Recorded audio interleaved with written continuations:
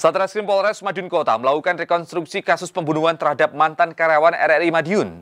Dalam rekonstruksi tersebut pelaku memperagakan 20 adegan. Meski hanya pelaku yang melakukan pembunuhan, namun tiga rekannya kini masuk dalam daftar pencarian orang atau DPO.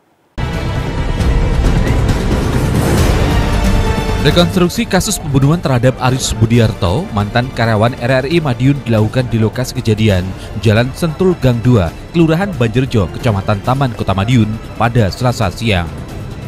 Reka adegan Rojopati tersebut dijaga ketat personil Polres Madiun Kota lantaran menjadi tontonan masyarakat.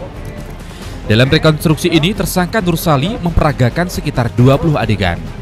Kasat Reskrim Polres Madiun Kota, AKP Tatar Hernawan menjelaskan, dalam reka adegan ini diketahui tersangka mendatangi korban dengan tiga rekannya yang kini masuk dalam daftar pencarian orang atau DPO.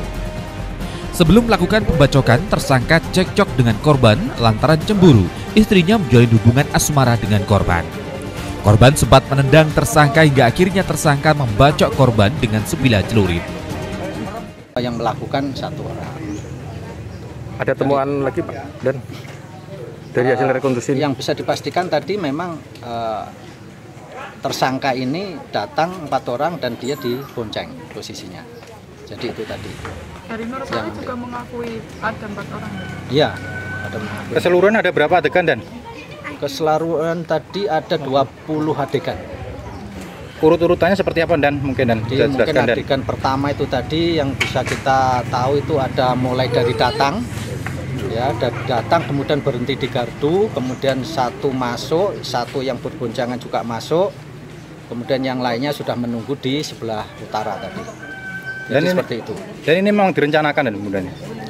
Uh, kalau melihat peristiwanya ini memang ini tadinya dari apa yang sudah kita lihat di apa kronologi tadi itu tujuannya kan bermaksud untuk menanya. Itu tadi kan rekan-rekan sudah tahu kan menanya kemudian sempat terjadi seperti itu tadi Terus motifnya sendiri kan?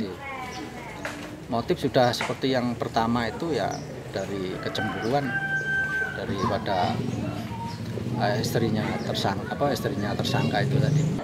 Meski sudah mendapatkan nama dan alamatnya, Satreskrim Polres Madiun Kota masih melakukan pengejaran terhadap tiga pelaku lainnya. Sementara istri tersangka sudah dimintai keterangan sebagai saksi. Riswanto, CTV, Madiun.